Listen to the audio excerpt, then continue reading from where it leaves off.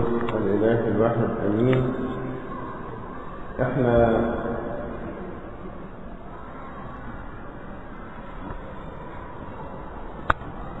في الإصحاح الثاني من رسالة معلمين بولس الرسول الأولى إلى أهل كورنثوس. أخذنا أول سبع آيات تقريبا. هقرأ الجزء الأولاني. اللي درسناه قبل كده بعدين ندخل في الجزء الجديد. بيقول أنا ده بولس الرسول لما أتيت إليكم أيها الإخوة ساعة ما راح يبشر أتيت ليس بسمو الكلام أو الحكمة مناديا لكم بشهادة الله.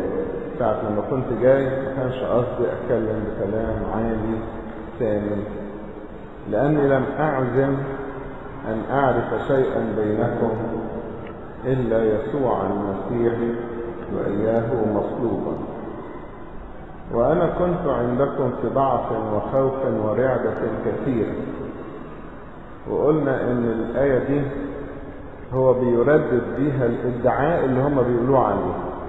يقولوا يا بولس ده كان غلبان وضعيف ومرعوب قال لهم أيوة أنا كنت كده. لم يدافع عن نفسه ولم يرفض الاتهام وقال اعتبروني كأني كنت ضعيف ومرعوب وخايف. لكن المهم في الآخر النتيجة أن المسيح يتمجد. مش أنا اللي اتمجد. وكلامي وكرازتي لم يكونا بكلام الحكمة الإنسانية المقنع بل ببرهان الروح والقوة.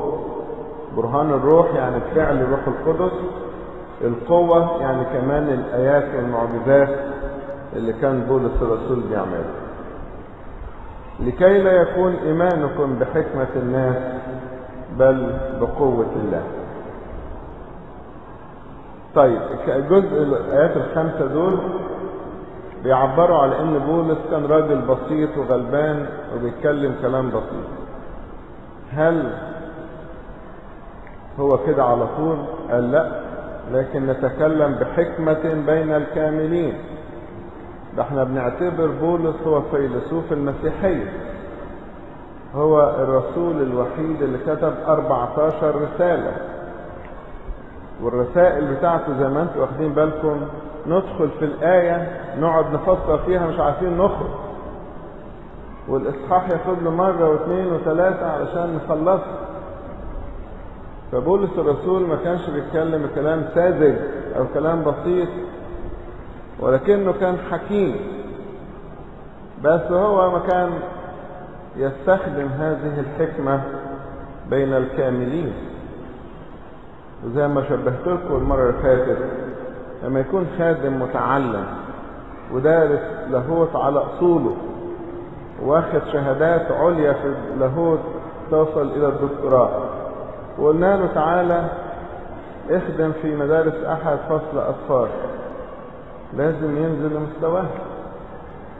وإذا تكلم مع أناس بسطاء ما خدوش قدر كافي من التعليم لازم ينزل لمستواه. ونفس الخادم ده نقول له تعالى بقى امسك لنا فصل إعداد خدمة. اتكلم كلام كبير. لو قلنا له تعالى ادي محاضرة في الإكليركية هيدي مستوى عالي. لو قلنا تعالى اشترك معانا في الحوار بين الكنائس هيتكلم على أعلى مستوى. فالواحد دايما يتحسس مستوى السامعين. فبيقول أنتوا بتتهموني إن أنا كنت في منتهى السذاجة والبساطة. فعلا أنا كنت كده. ولكن دي مش صفتي. أنا صفتي بتكلم بالحكمة لكن بين الكاملين. الكاملين يعني الناضجين. اللي ليهم فترة طويلة في الإيمان وهيستحملوا الشرح الكبير.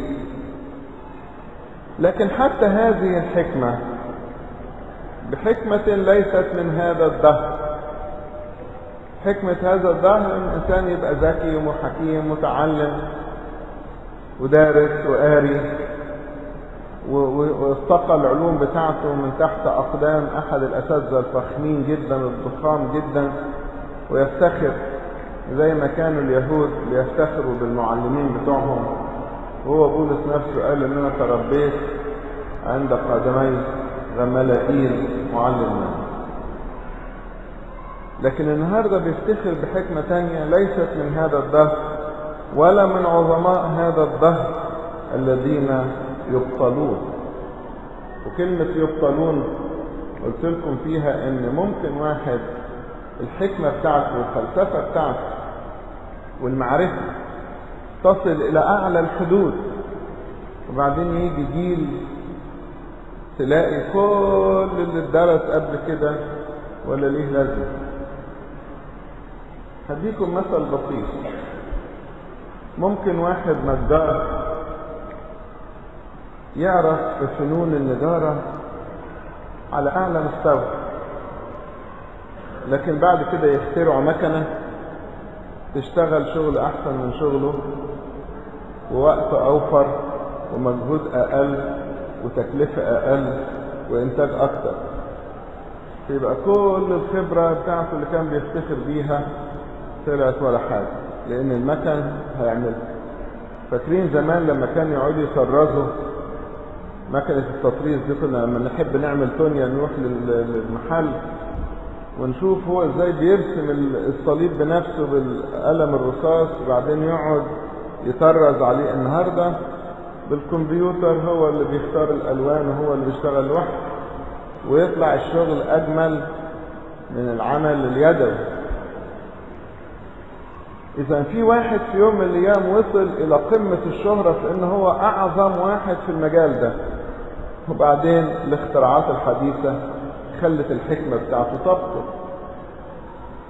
في زمن من الأزمنة ممكن يكون دكتور وصل لأعلى شهرة.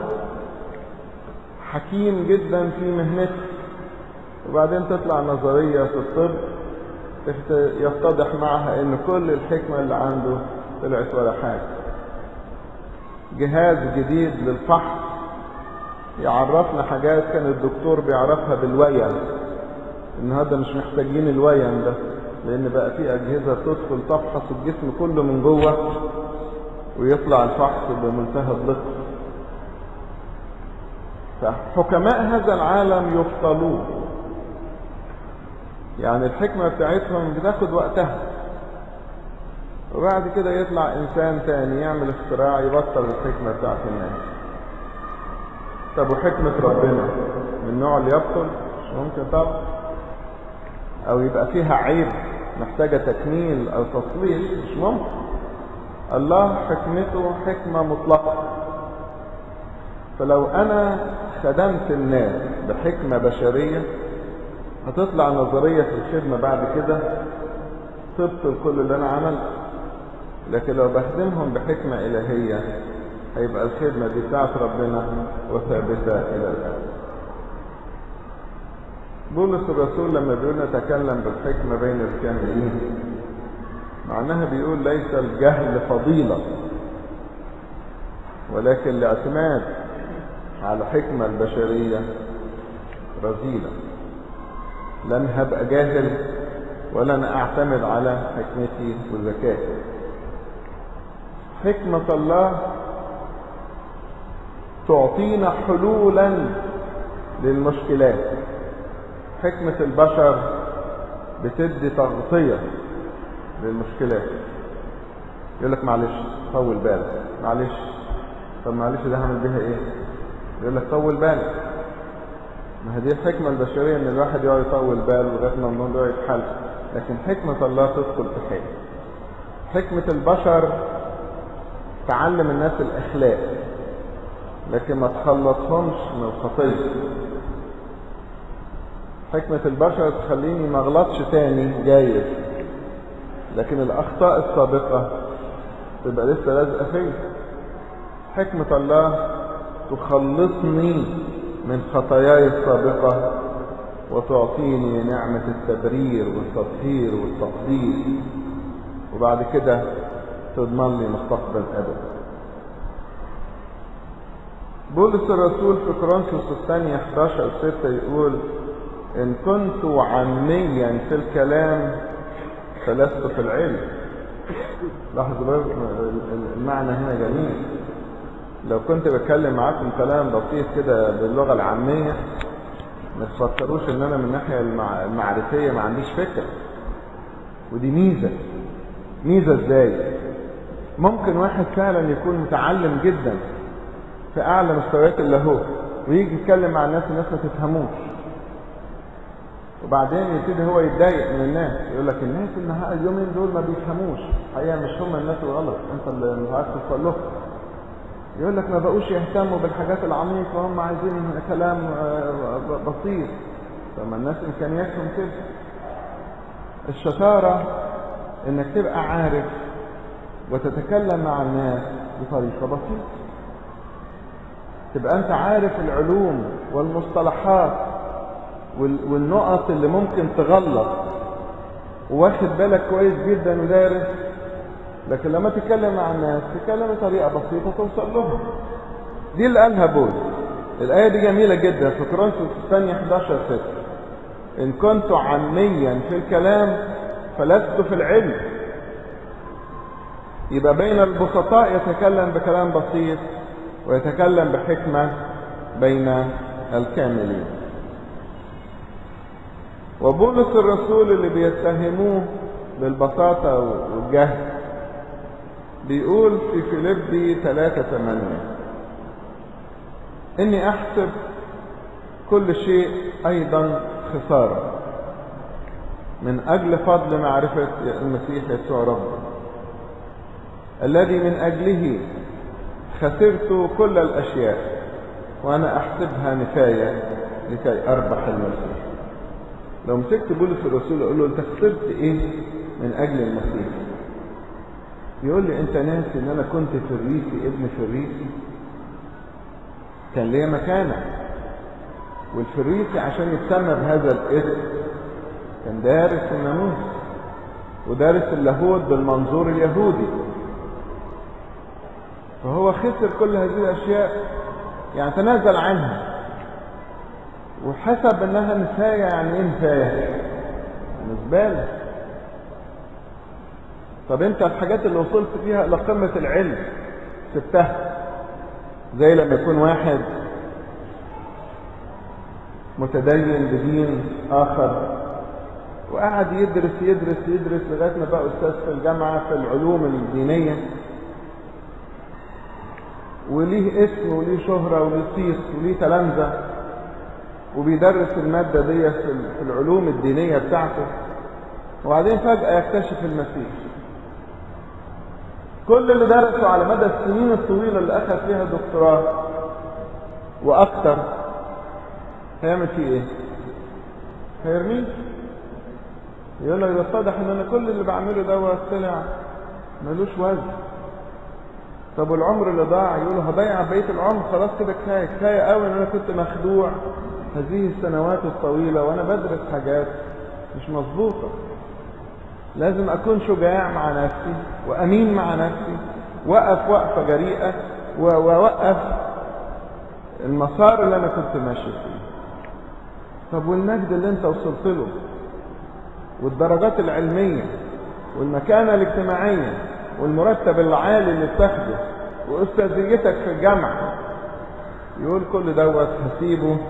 وأنا بحسبه إيه؟ نفاية وهرجع تاني لنقطة الصفر.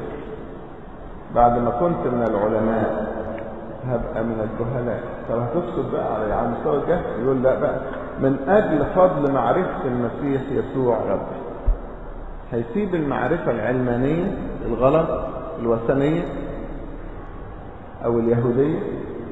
عشان يدخل في معرفة جديدة هي معرفة المسيح يسوع ربي. يبقى عايز اركز في الحته دي. ليست المسيحية ديانة السذج والجهال والبسطاء ولكنها تنفع للسذج والجهال والبسطاء وتنفع أيضا للحكماء والكاملين.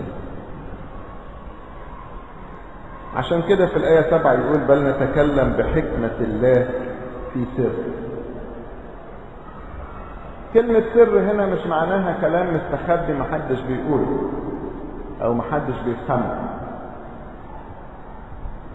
كان في ديانات زمان لها تعاليم سرية وطقوس سرية. ولا يقول هذه التعاليم أو الطقوس إلا للناس اللي يدخلوا فيها ويتأكدوا من ثباتهم يعني في الأول يديله معلومات بسيطة لغاية ما يتأكد إن ده هيبقى مننا يبتدي يديله الأسرار بتاعتها المسيحية ما فيهاش حكاية. دي أنتوا كلكم عارفين إن إحنا عندنا في الكنيسة الأسرار سبعة هل بالنسبة لكم سر؟ مش عارفين إيه هي. بس مرة واحد كان بعت سؤال بهذا المنظور على النت. يقول لماذا يحتفظ القصص اللي هي جمع قسيس يعني أو القساوسة بالأسرار السبعة لأنفسهم ولا يقولوا للشعب. هو لما سمع إن في أسرار سبعة قال لك طب آه الناس اللي ما تعرفش الاسرار دي ما تقولوها بقى للناس. فهو مش فاهم. فلما نقول إحنا بنتكلم في سر معناها حاجة تفوق العقل. سر معناها حاجة الظاهر بتاعها غير حقيقتها. أنت ترى في سر المعمودية مية عليها نقطتين زيت. لكن أنت عارف السر إن المية دي لها قدرة أن تلد الإنسان ميلادا جديدا. أنت بتشوف في سر التناول قربانة بسيطة طالعة من الفرن ولكنك تعرف بالسر إن فيها جسد الرب والكاس في دمه. أنت ترى حركة بسيطة جدا بيعملها قداسة البابا على رأس الإنسان اللي يترسم قسيس أو قصر وضع اليد. أي واحد في الدنيا ممكن يحط إيده على رأس ابنه ولا رأس حد. لكن إيد البابا أو الأسقف بتعطي موهبة الكهنوت. أنت ما شفتش حاجة. مفيش حاجة حسية بتبان. لكن إحنا نؤمن بالسر إن الشخص ده تحول إلى كاهن. في كيانه مش في اسمه شكل في كيانه الداخلي بقى كاهن. وهكذا أسرار الكنيسه كلها. فحتى الكرازة بالإنجيل نتكلم بحكمة الله في سر. إيه السر هنا؟ إن أنا بقول يسوع مصلوب من أجلكم. فالناس غير المؤمنين شايفين الكلام ده فيه جهل وفيه ضعف. لكن مش مكتشفين السر اللي جواه. وبعض الناس قلبهم ينفتح لهذا السر فيستوعبوا يعني إيه الله يموت من أجل الإنسان. عشان كده قال إن إحنا بنتكلم في سر. حكمة الله في سر دي هي بعينها الحكمة المكتومة. التي سبق الله فعينها قبل الظهور لمجدنا. الله لا جد عليه جديد وما عندوش مفاجآت. كل شيء عنده معروف ومحسوب منذ الأزل. فيا ترى الحكمة دي إن الله يموت من أجل الإنسان. كان شيء اضطراري الله اضطر. مش ممكن الله حد يجبره على حاجة. ولا الظروف بتجبره على حاجة. مش عشان خاطر آدم غلط ربنا مضطر بقى يموت من أجلنا. ده هو عامل حسابه من الأول. قبل ما يخلق آدم عارف إن آدم هيغلط وعارف إن هو من أجل حبه عشان يظهر حبه هيتجسد ويعيش بينا وهيفدي الإنسان فالموضوع بالنسبة له ما كانش مفاجأة ولا حادثة ولا استحداث. يعني حاجة نقعد نفكر بقى نحل المشكلة إزاي. عشان كده يقول الحكمة دي كانت مكتومة مش معروفة. وسبق الله فعينها قبل الظهور. قبل الظهور يعني قبل الأزمنة يعني منذ الأزل. وعينها ليه؟ لمجدنا. حكاية مجدنا دي بقى عندها شوية. هل المسيح جه يتجسد عشان هو يتمجد؟ ده إحنا بنقول له في التسبيح إن هو فوق الممجد. الله مش محتاج مجد. عشان لما لما يجي لما الأرض. ما جاش يقول أنا هو الله فاعبدوني. مش محتاج هو دي لأن هو الله المعبود منذ الأزل وإلى الأبد. وعنده ربوات ربوات وألوف ألوف الملائكة بيسجدوا له ليل نهار. مش مستني هو النمل بتاعنا إحنا إحنا البشر بالنسبة له نمل يعني عشان نعبده. اللي بيعبده؟ هو المستفيد اللي مش بيعبده هو اللي ضايع. الله مش مستني عبادتنا علشان يتمجد. ومش جاي في وسطنا عشان يتمجد. هو جاي عشان يمجدنا. شوفوا الآية هنا تقول إيه؟ الله عين الحكمة دي حكمة الخلاص بالصليب قبل الظهور لمجدنا عشان يمجدنا إحنا.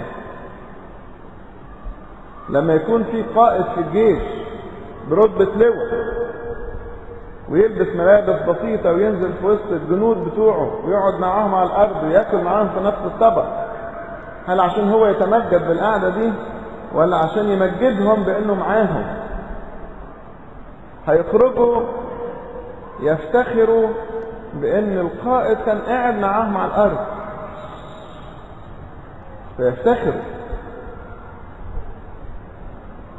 هو الواحد فيكم لما يقابل واحد من عظماء هذا الدهر لو واحد فيكم جات له فرصة يروح يقابل رئيس الجمهورية هل رئيس الجمهورية يتمجد عشان قبله ولا أنت اللي تتمجد؟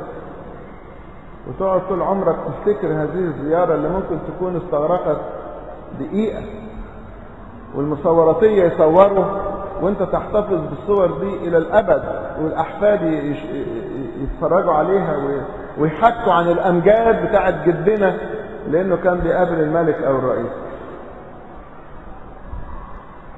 إذا الله لما يجي في وسطينا مش عشان هو يتمجد. الله ممجد في ذاته حتى في لحظة الإهانة والمحاكمة والشتيمة والتجديف واللطم والتفل عليه والضرب والجلد والصليب والتعري والموت. الله لم يهان لأن الله ممجد في ذاته. زي بالظبط لو أنا عندي نار نار ورميت عليها زبالة. النار تتلون. هيحصل إيه؟ النار هتاكل الزبالة وتقعد النار نار. لكن لا تتلون. فإلهنا نار آكلة. لا تصيب إهانة ولا تهز في مقامه امال هو جاي ليه؟ جاي علشان يمجدنا. مش عشان هو يتمجد. فإذا رأيناه شكله الخارجي بسيط وغلبان ومذلول ومهان ورجل أحزان وأوجاع مختبر الحزن. ما تهزش ما هو جاي عشان كده مش جاي عشان يتمجد. جاي علشان يمجدنا إحنا. وعشان كده كنيستنا فهمت قوي كلمة لمجدنا دي. شوفوا كلمة واحدة في آخر الآية. عينها قبل الظهور لمجدنا ففهمت إن في مجد للبشر. وعلشان كده بنعمل تماجيد للقديسين. وضميرنا مستريح يطلع واحد يقول لك المجد لله وحده. طب الله الممجد دوت أعطانا مجد. انت زعلان ليه؟ ده هو جاي عشان يمجدني. في قصة التجلي. انجيل لوقا إصحاح تسعة. يتكلم عن موسى وإيليا يقول لك ظهر بمجد. يبقى موسى وإيليا برضه أخذوا مجد. السيد المسيح يتكلم مع الآب في يوحنا 17 يقول أنا ممجد فيهم. يعني مجد المسيح إنه ساكن فينا فبيعطينا من مجده يبقى هو ممجد فينا. زي ما بنقول في المزمور سبحوا الله في جميع قدسيه ويقول أنا قد أعطيتهم المجد الذي أعطيتني. خلي بالكم المسيح عنده نوعين من المجد قلت قبل كده. مجد الألوهة ده ما حدش اداهوله. ده بتاعه. لكن مجد في الناسوت اخده من الاب مجد الألوهة مش هيديه لحد اللي هي الآية بتقول مجدي لا أعطيه لآخر. أما مجده الناسوتي ممكن يديهوله. عشان كده قال في الآية دي أنا اعطيتهم المجد الذي اعطيتني المجد اللي في جسد المسيح والبهاء والجمال والقوة يديه للبشر. ومن ضمن المجد اللي هناخده من المسيح إننا نشوف مجده. يقول أيها الآب أريد أن هؤلاء الذين أعطيتني يكونون معي حيث أكون أنا لينظروا مجدي الذي أعطيتني. لأن إحنا شفناه على الأرض إنسان بسيط. وبالرغم إنه بسيط حبيناه ولزقنا فيه وأمنا بيه وتعلقنا بيه وعلقنا عليه حياتنا وخلاصنا يقول يا جماعة ده أنا بسيط وغلبان. نقول له إحنا عاجبنا كده. يقول طب عشان أنا عجب عجبتكم وأنا بسيط هديكم مكافأة أوريكم إيه؟ مجد. والمجد اللي هناخده مع المسيح هناخده بعد ما نتألم معه. زي ما جه في روميا إن كنا نتألم معه لكي نتمجد أيضا معه. فإني أحسب أن ألام الزمان الحاضر لا تقاس بالمجد العتيد أن يستعلن فينا. لأن خفة ضيقتنا الوقتية تنشئ لنا أكثر فأكثر ثقل مجد أبد. خلي بالك يا بخت الإنسان اللي ياخد ضيقة في الأرض لأن المجد مستنيه في السماء. وعايز أقول للناس اللي متضايقين ممكن الضيقة تجيلك من بره إن حد بيضايقك اشكره. اشكره لأنه بيوفر لك كنز مجد. وافتكر الآية دي إن الضيقة دي مهما كانت هي خفيفة وقتية بتنشئ ليا ثقة المجد أبد والضيقة ممكن تكون من جوه. إن الواحد في مرض في تعب في إحباط لأي سبب. وبمناسبة الورقة اللي حد بعتها لي يشتكي من نفسه في خطية. أقول له دي من ضمن الضيقات اللي تنشئ لنا المجد. انت عارفين إزاي؟ في إنسان يعمل الخطية ولا همه. مش بيشتكي نفسه. ويقول عنه الكتاب يشربون الاسم كالماء. ويقول أكلت ومسحت فمها وقالت ما عملت شيئا. يعني يغلط يغلط يغلط وهو حاسس إنه عادي. فمش متضايق. لكن لو هو متضايق من نفسه ومتضايق على نفسه وبيشتكي نفسه في الاعتراف والموضوع مش مريحه مهما تكررت الخطية معناها إن هو في جهاد. وربنا هيحسب ضيقة نفسه دي على إن هي تعب من أجل الله وهياخد عليها اكاليل والشيطان بيبقى خيبان قوي لما يجي يحارب إنسان بالمنظر ده. لأنه بكثرة محارباته بيدخر له اكاليل حتى لو وقعت لأن كلما سقطت إيه؟ أقوم. كل قيامة من دول ياخد اكليل فيجي الشيطان يتغاظ من الاكليل يروح موقعه تاني يروح هو قايم ياخد اكليل تاني. فالشيطان هيلاقي نفسه في الآخر عمال بيحوش لك اكاليل فأحسن له يسيبك ويمشي. طول ما انت ماسك في الرجاء زي الآية بتقول كل من عنده هذا الرجاء به يطهر نفسه كما هو طاهر. فخفة ضيقتنا الوقتية تنشئ لنا أكثر فأكثر ثقة المجد أبديا ويقول متى أظهر المسيح حياتنا؟ حينئذ تظهرون أنتم أيضا معه في المجد. في مجد مستنينا في السماء ما يتوصفش. ويقول عن المسيح وهو آتي بأبناء كثيرين إلى المجد. في عبرانيين 12 فهو جايبنا للمجد إن عيرتم باسم المسيح فطوبى لكم. ليه؟ قال لأن روح المجد والله يحل عليك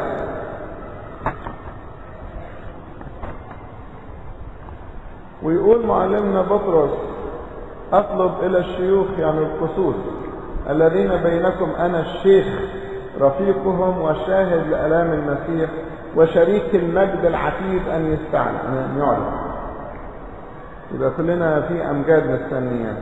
ومتى ظهر رئيس الرعاة تنالون إكليل المجد الذي لا يبلى لما حد يقول لك المجد لله وحده قل طبعا المجد لله وحده مجد اللاهوت لكن إحنا البشر ربنا هيدينا من المجد بتاعه بس مش مجد اللاهوت كلنا حافظين الآية بتقول حرية مجد أولاد الله.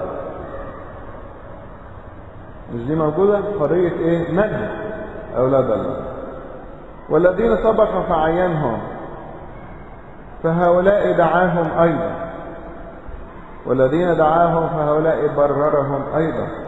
والذين بررهم فهؤلاء إيه مجدهم أيضا. يبقى ربنا بيوفر لنا مجد. وفي الآخر نقول نجما يمتاز عن نجم في المجد. يعني القديسين في درجات كمان في المجد بتاعهم. والآية اللي هقولها لكم دلوقتي قلتها لكم كتير وآية جميلة. يقول نحن جميعا ناظرين مجد الرب بوجه مكشوف كما في مرآة. نتغير إلى تلك الصورة عينها يبقى شكل المسيح من مجد إلى مجد كما من الرب الروح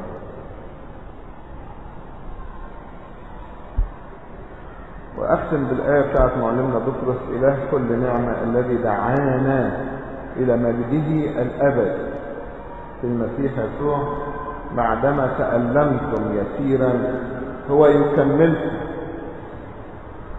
ويثبتكم ويقويكم ويمكنكم. يعني هو دعانا وهيدينا بس نثبت في سكته يعني. الآية اللي هي بتاعت مجدنا دي نتكلم بحكمة الله في سر. الحكمة المكتومة التي سبق الله فعينها قبل الظهور لمجدنا هرجع تاني لكلمة سر. كلمة سر هنا بولس الرسول هو اللي كشف هذا السر وسماه السر المكتوم منذ الأزمنة الأزلية. إيه السر يا ترى؟ السر أن الأمم شركاء في الميراث والجسد والموعد.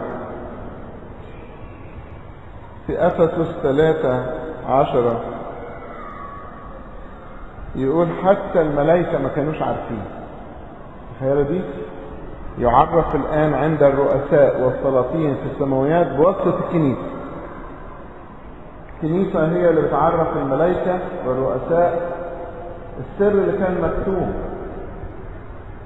ساعة ما أبائنا الرسل خرجوا يكرزوا للأمم كأن الملائكة مندهشين. هم الأمم ليهم نصيب وليهم مجد. ربنا يقول لأحد الملائكة روح لكرنيليوس وقول له وروح لبطرس وقول له أول انكشاف للسر.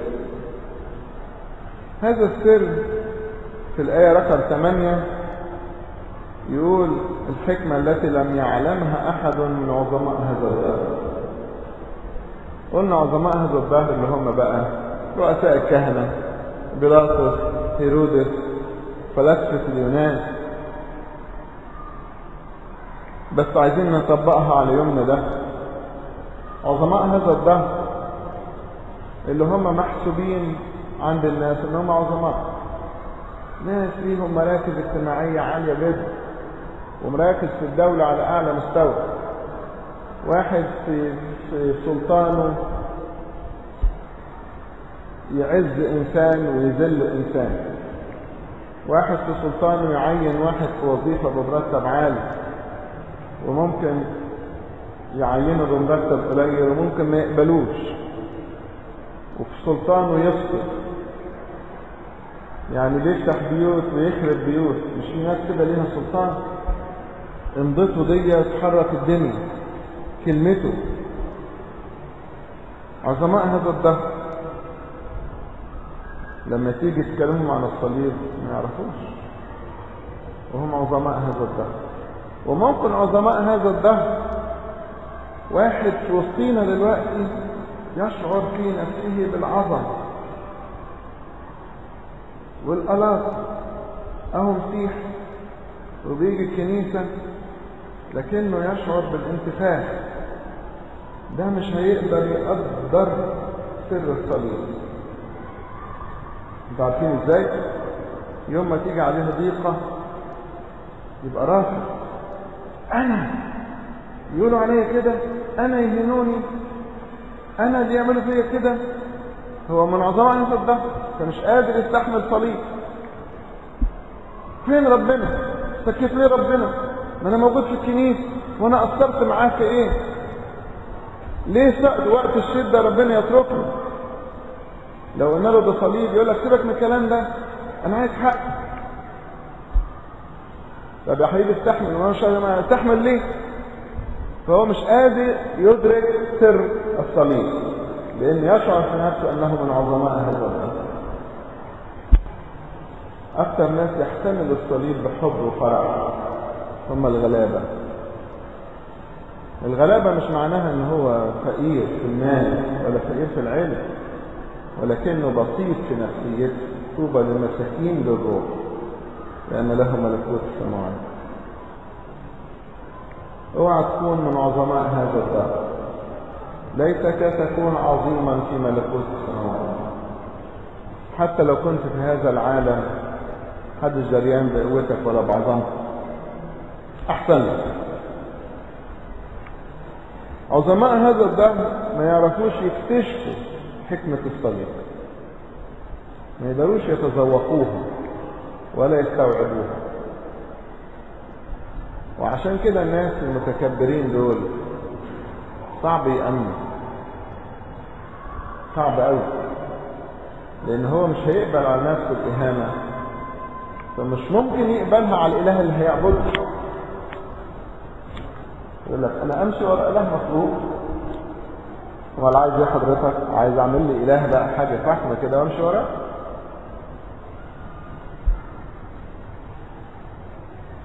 لو عرفوا لما طلبوا رب المجد. طبعا حكاية لو عرفوا دي فعلا المسيح قال يا أبتى اغفر لهم لأنهم إيه؟ لا يدوم مش عارفين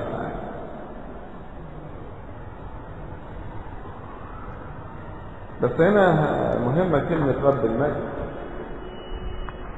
لأن كلمة رب المجد تطلق على الله. صح؟ وهنا يقول طلبوا رب المجد. مين اللي طلب المسيح. ده المسيح هو مين؟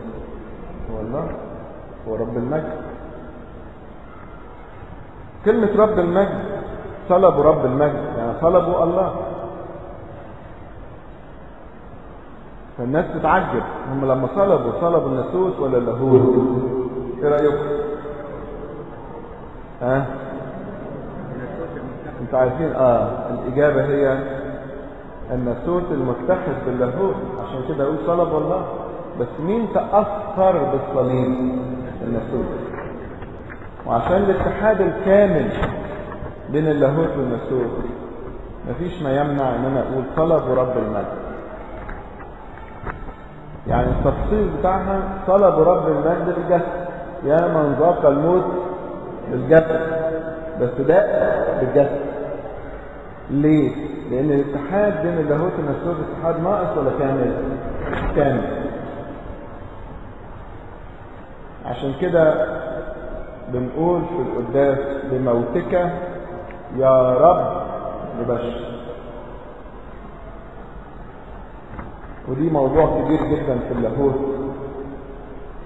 برع في شرح القديس كيرلس الكبير عمود الدين اللي هو اتحاد الطبيعتين في طبيعة واحدة بغير اختلاط ولا امتزاج ولا تغيير. بل كما هو مكتوب ما لم ترى عين ولم تسمع أذن ولم يخطر على بال إنسان ما أعده الله للذين يحبونه وكلمة كما هو مكتوب معناها جايبها من العهد القديم. جت فين في العهد القديم؟ في أشعية 64 آية 4 يقول منذ الأزل لم يسمعوا ولم يصغوا لم ترى عين إلها غيرك يصنع لمن ينتظر. فالحاجة اللي بيعملها ربنا ما اتشافتش وما اتسمعش عنها قبل كده.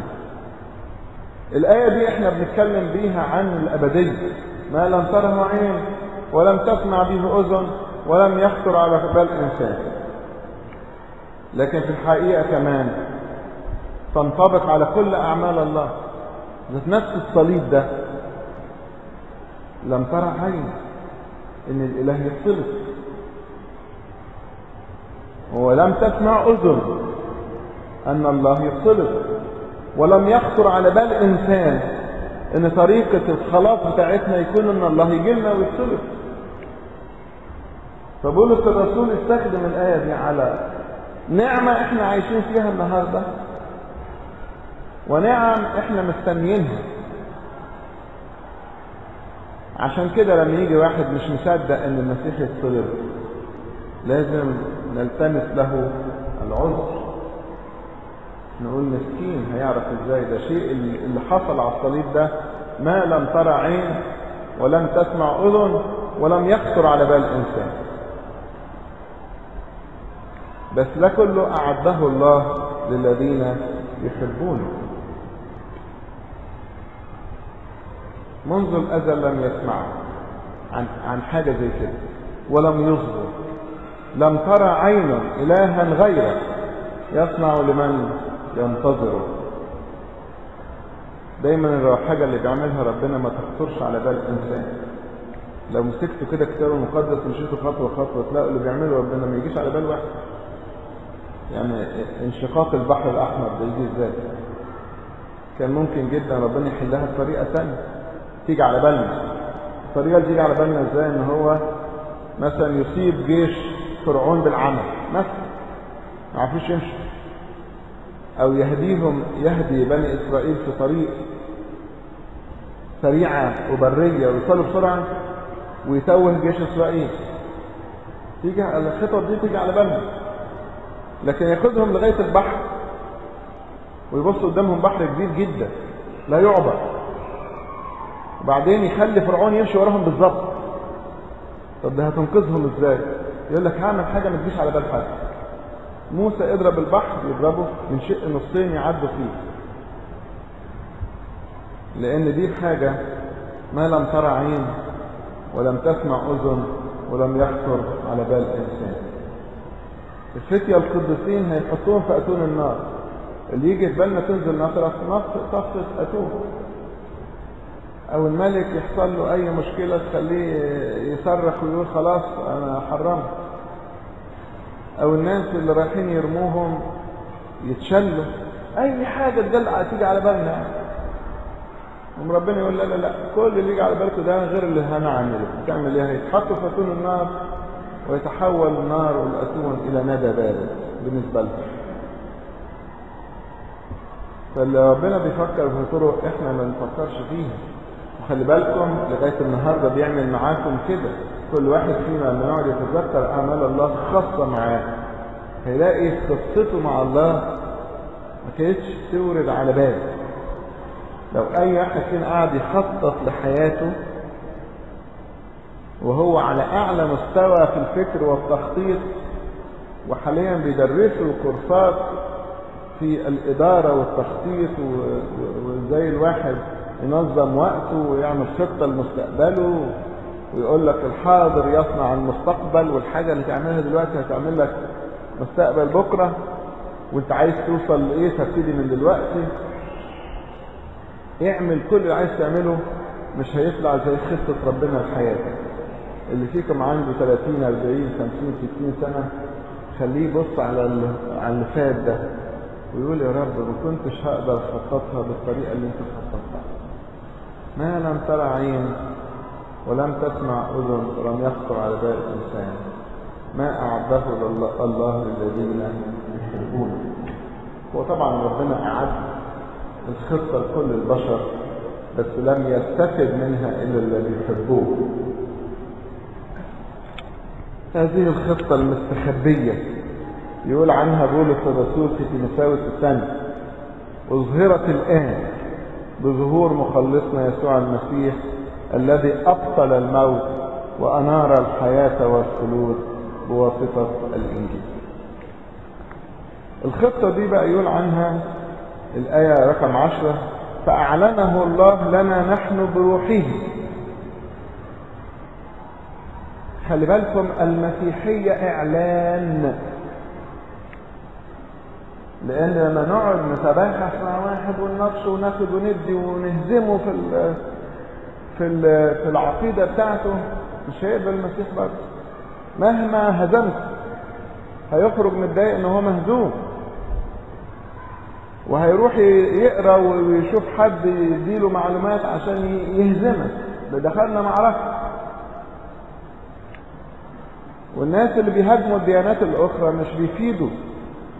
أنتوا عارفين إيه اللي بيفيد الاعلام لأن الأمور الإلهية لا يستطيع الإنسان أن يقبلها إلا بعمل الله. وما يصحش إن حد يفتخر يقول أنا بحكمتي بقوتي وباللي عملته جذبت ناس كتير للمسيح. عمرها ما تكون كده. ده هي بالإعلان. يقول لك أعلمه الله لنا نحن بإيه؟ بروح اللي هو الروح القدس. عشان كده في متى 13 يقول إيه؟ قد أعطي لكم أن تعرفوا أسرار ملكوت السماوات. دي عطية. أما لأولئك فلم يعطى. طب لم يعطى ليه؟ هل ربنا بيميز بين واحد واحد؟ لا. هو شايف قلوب الناس. مين اللي عنده استعداد؟ ما شاول الترسوسي كان ضد المسيح. لكن ربنا عارف قلبه الحلو. أعلن له الإيمان. أنتوا عارفين لو شاول الترسوسي دوت الاباء الرسل ال 12 اجتمعوا معاه يحاولوا يقنعوه بالإنجيل ما كانوش قدروا عليه. إستفانوس كان لوحده وحواليه مجمع بيحكمه بيناقشه ولم يقدروا أن يقاوموا الحكمة والروح الذي فيه. لكن في الآخر عملوا إيه؟ قتلوه. قتلوه بالرغم إن هو كان منتصر عليهم في الكلام. الحكاية مش حكاية إن أنا أهزم اللي قدامي بالحجه والمنطق حكاية إن أنا أصلي له.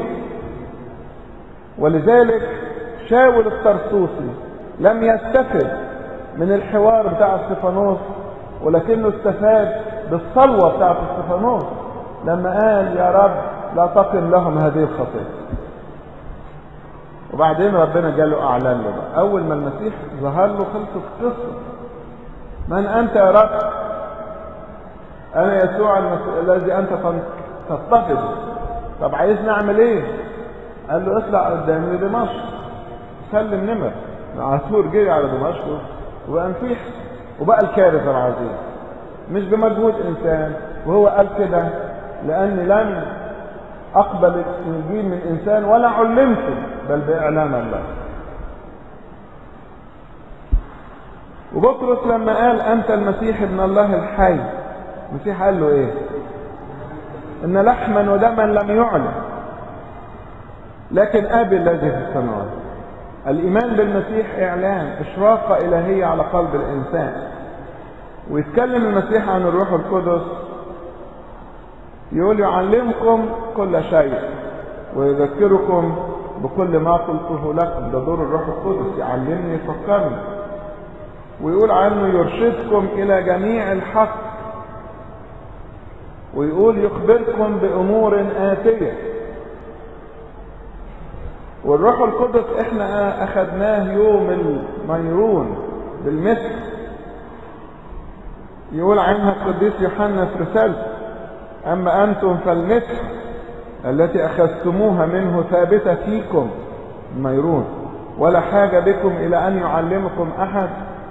كما بل كما تعلمكم هذه المسحه عينها عن كل شيء وهي حق وليست كذبا كما علمتكم تثبتون فيه.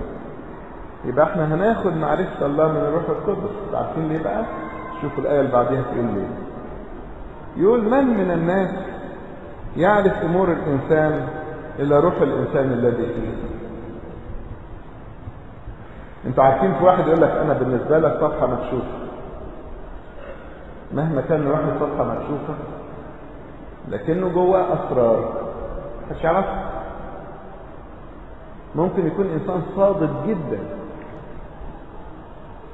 واللي في قلبه على لسانه انتهى البراءة والشفافية والنقاوة واضح جدا مع أب اعترافه على الأقل.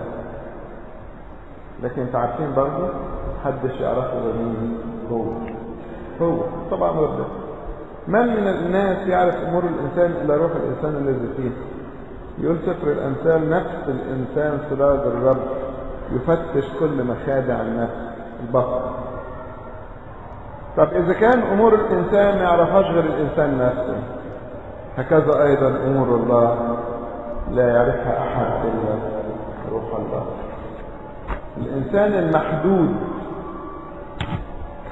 اللي هو يعتبر نموذج متكرر. إحنا عندنا ستة مليار إنسان على وجه الأرض. نموذج متكرر.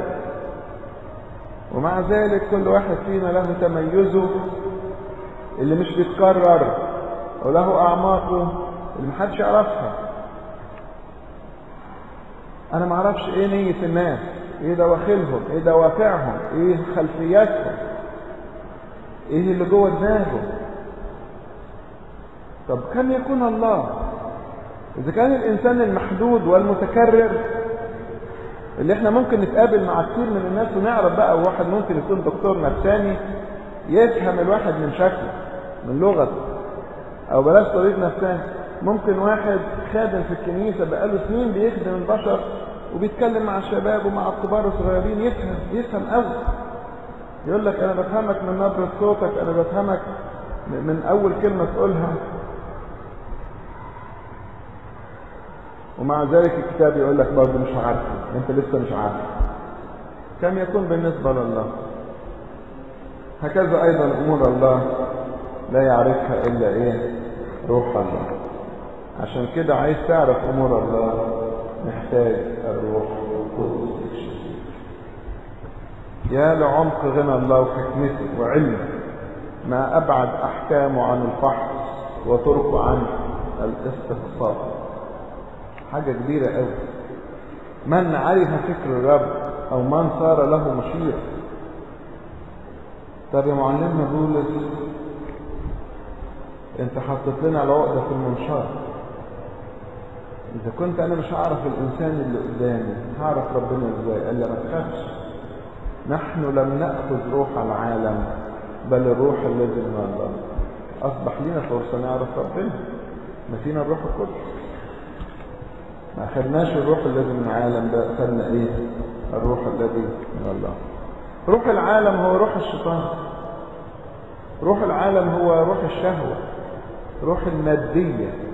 روح الأنانية. روح الكبرياء هو ده اللي في العالم النهارده مين اللي بيوصل؟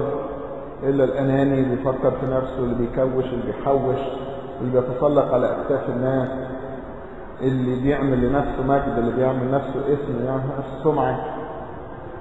ده عظماء هذا العالم ده روح العالم. إحنا أخذنا روح الله. عارفين روح الله اللي بيقول لنا إيه؟ من أراد أن يكون فيكم عظيما يكون إيه؟ خادم الكل.